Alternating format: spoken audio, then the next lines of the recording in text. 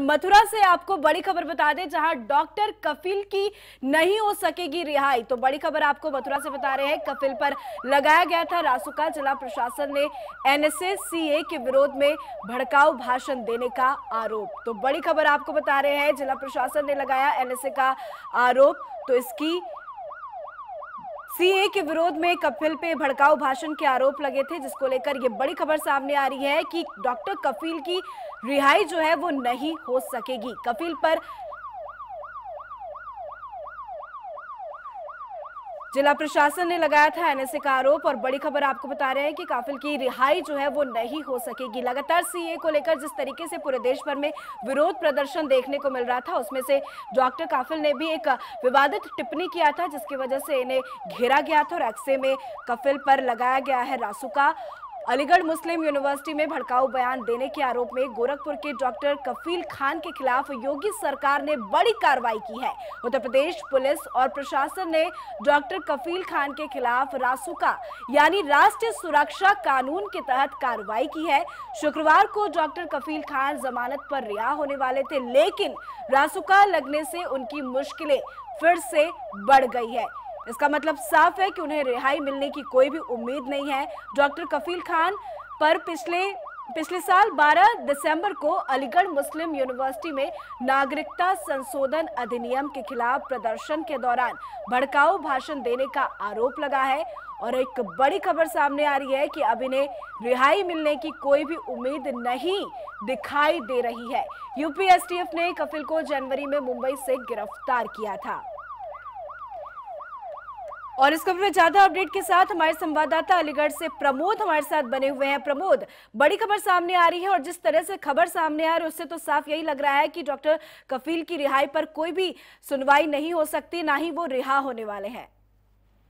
बिल्कुल देखिए पूजा मैं बता दूँ 12 दिसंबर को कफीस अलीगढ़ मुस्लिम यूनिवर्सिटी आए थे और उन्होंने वहाँ भड़काऊ भाषण दिया था। जी। उसी को लेकर कफीस की गिरफ्तारी मुंबई मुंबई से हुई थी और गिरफ्तारी के बाद वो फ़िलहाल जेल में है। जैसे ही उन्हें परसों जमानत मिली, यानी आज रिहाई होनी थी उनकी आज या कल में रिहाई होनी थी। बावजूद इसके, जैसे ही पुलिस को यह जानकारी हुई कि कफीस की रिहाई होनी है, तत्काल अलीगढ़ एसएसपी ने उन पर एनएसए मतलब गैंग गैंग एनएसए की कार्रवाई कर दी है। एनएसए की कार्रवाई के बाद निश्चित तौर पर यह तय माना जा रहा है कि अब डॉक्टर कफीस की जो रिहाई है वो होना मुश्किल है। यानी कफीस की जो रिहाई है, वो लंबे समय बाद होगी। अब जिस तरीके से लोग इंतज़ार में थे, उनके परिवार के लोग इंतज़ार में थे कि डॉक्टर कफीस की रिहाई दो चार दिन बाद, यानी जमानत वेरिफिकेशन के बाद सीधे तौर पर बाहर आ जाएँगे। मगर जिस तरीके से एनएसए की अलीगढ़ पुलिस ने कार्रवाई किया उससे निश्चित तौर पर अब उनकी जमानत होना मतलब संभव नहीं है। अभी जल्द जमानत नहीं हो सकती, क्योंकि एनएचए गंभीर धारा एनएचए के तहत मुकदमा कार्रवाई होने का मतलब ही सीधे सीधे तौर पर है कि महीने दो महीने में कम से कम जमानत उन्हें मिल पाएगी। अब देखना यह है कि जिस तरीके से पुलिस ने एनएचए की कार्रवाई की है अब इनकी जमानत कब तक आ, कब मिल पाती है? जी। क्या लगता है प्रमोद कितना वक्त लग जाएगा? देखिए बिल्कुल जिस तरीके से अभी एक यानी एक धारा में बेल होना एक मुकदमे में बेल होना और बेल के बाद तमाम प्रक्रिया होती है जिन्हें जमानत वेरिफिकेशन की जो जमानती होते हैं उनके लिए पुलिस वेरिफिकेशन करती है। उस प्रक्रिया में भी दो से छह दिन का वक्त लगता है और जैसे ही पुलिस को यह जानकारी हुई कि उनकी रिहाई हो गई है तीन दिन पहले। तत्काल उन्होंने एक धारा एनएचसी की लगा दी जिससे कि अब रिहाई लगभग तय माना जाएगा कि दो से तीन महीने में उन्हें जेल से बाहर आ पाएँगे।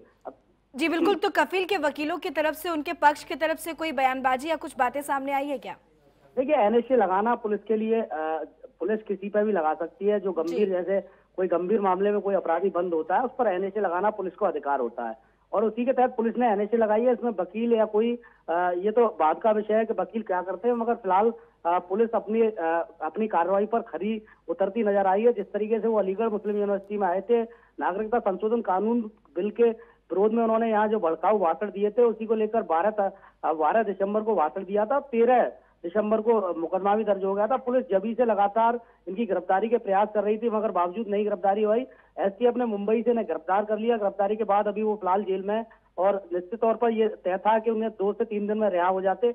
मगर जिस तरीके से अलीगढ़ पुलिस ने ये अगला खेल खिलाया, यानी सीधे तौर पर जो गंभीर धारा एनएसए के तहत जो कार्रवाई की है, उससे सीधे तौर पर पुलिस की भी मालूम पड़ती है कि पुलिस पूरी तरीके से सक्रिय नज़र आ रही है और ऐसे लोगों के खिलाफ अलीगढ़ पुलिस पूरी तरीके से सक्रिय और बेल होना अब मतलब इतनी आसानी से बेल होना संभव नहीं है क्योंकि किसी भी अपराधी के खिलाफ एक मुकदमा दर्ज उसके बाद उस पर वो जेल जेल में होते हुए एनएसए की कार्रवाई हो जाए तो आसानी से उसकी बेल अभी नहीं, कम से कम इस प्रक्रिया में भी मेरा जो मानना है दो महीने का वक्त पूरा लगेगा। जी। जी, बिल्कुल मतलब साफ़ है कि लंबा वक्त लग सकता है। बहुत बहुत शुक्रिया प्रमुख तमाम अपडेट के लिए।